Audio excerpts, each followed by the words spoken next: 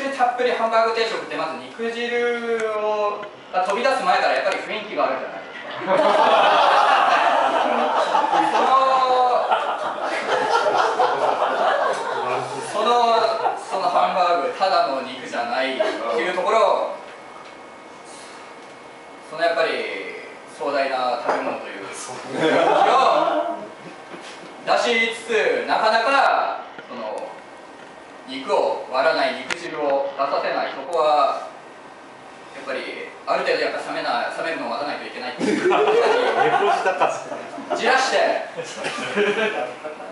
そしてちょうど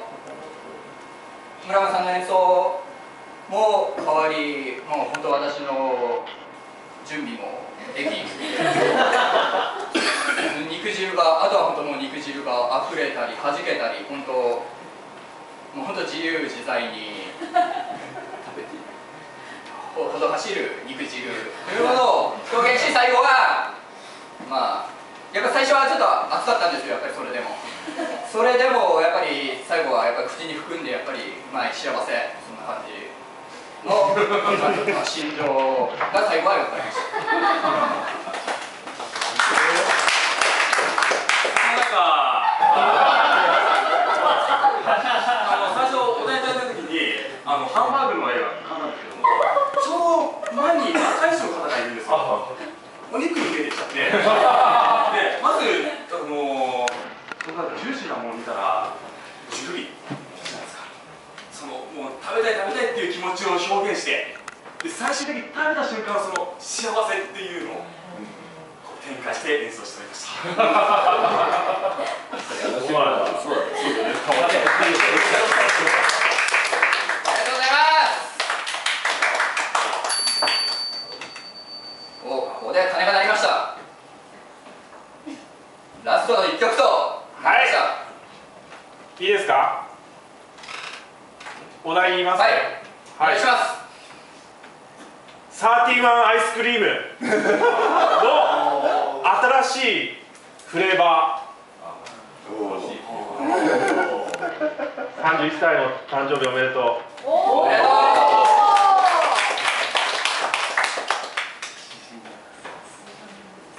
デザートも食べないとね「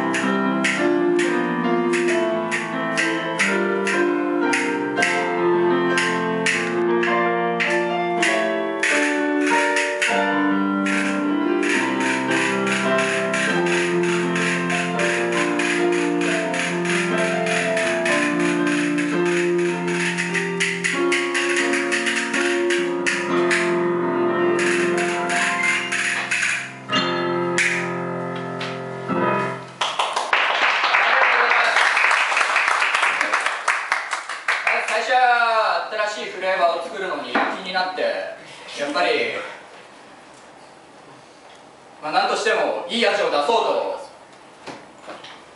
策に策を練る31の内部関係者の 交差ししかしやっぱりたどり行き着く先はやっぱりシンプルなフレーバーしあシンプルな味のフレーバーがいいということにたどり着きその後のまカスタネットの叩き方もまあシンプルな方向に行き着きましたそんな感じですえっと、その中ですけども、サーティワンの新しいフレーバーの味ということなんですけども、結構サーティワンで以前あのそういう季節ものを食べた時にあんま美味しくなかった印象があったんですよ。それはなんかあんまいいイメージなかったんで、まずいなっていうのを最初考えてたんですけども、でもなんかメリーさんが最後おっしゃってくれた誕生日おめでとうという言葉、これはもう大切なことなんで、ハバースデー低いしかないなと思いまして、ね、いや改めて本当に誕生日おめでとうございます。